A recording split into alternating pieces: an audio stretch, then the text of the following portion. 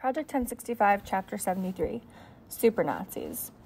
They're fanatics, I told Simon. After getting home from the Hitler rally, I burst into my house and ran straight to the secret room. That's why they were recruited, because they're zealots. You should have seen these four guys. It was like God Himself had come down from on high to talk to him, to talk to them. I saw it in their faces, heard it in their shouts. It's like a religion for them. They believe Hitler's nonsense Aryan supremacy, the Jewish threat, world domination, all of it. So speaking English has nothing to do with it, Simon said. No, they love Hitler so much they'd do anything for him, kill for him, die for him. To get on that team, all I have to do is prove to them I'm a super Nazi.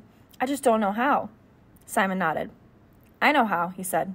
You have to turn me in.